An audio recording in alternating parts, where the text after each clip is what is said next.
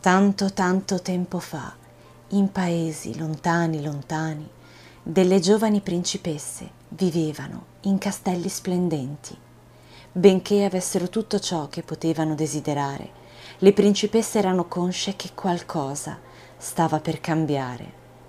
Accadde così che una notte qualunque una scrittrice straniera arrivò ai castelli e offrì alle principesse una profezia in cambio del riparo dal freddo pungente.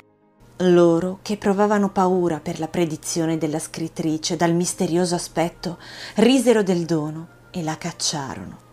Ma lei le avvertì di non lasciarsi ingannare dalle apparenze, perché il vero finale della storia doveva ancora arrivare. Le principesse la respinsero di nuovo e in quel momento il velo di mistero della scrittrice si dissolse ed apparve un bellissimo libro. Le principesse si scusarono, ma era troppo tardi, perché lei ormai aveva visto che non c'era via di scampo dal giorno dopo il lieto fine. Vi avevo già parlato delle opere della mia amica Alice Chimera, vi lascio per esempio il link all'ultima qui e nell'info box. Ed oggi torniamo a trattare l'argomento perché è uscita la versione deluxe in riedizione favolosa della sua opera Il giorno dopo lieto fine. Vi lascio il link per accapararvi la vostra copia qui sotto nell'info box. E se dopo quel e vissero per sempre felici e contenti vi fosse dell'altro? Così scontata la felicità per delle ragazze che si trovano catapultate in mondi fino a ieri completamente estranei e così diversi?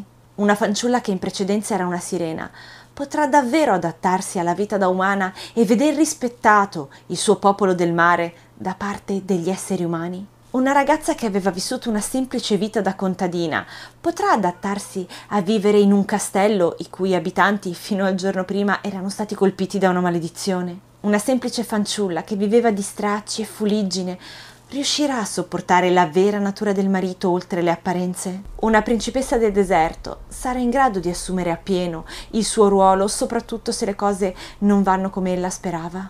Una ragazza risvegliata da un sonno eterno potrà affrontare qualcosa ancora più terribile di una maledizione, ovvero le parentele le smanie di potere. Una fanciulla dolce e candida può trasformarsi in ciò che odia se mossa dal sentimento sbagliato. Ed infine la ragazzina che si era avventurata in un mondo di meraviglie potrà far ritorno alla realtà così facilmente? Queste sono le storie ambientate il giorno dopo il lieto fine che potrete leggere nel libro di Alice.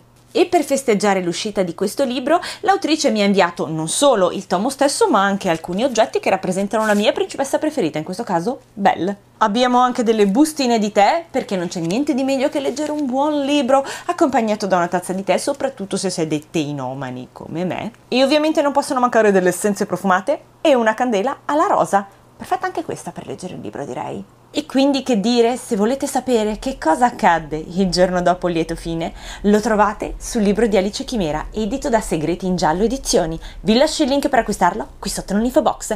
Fatemi sapere cosa ne pensate e se lo conoscevate già.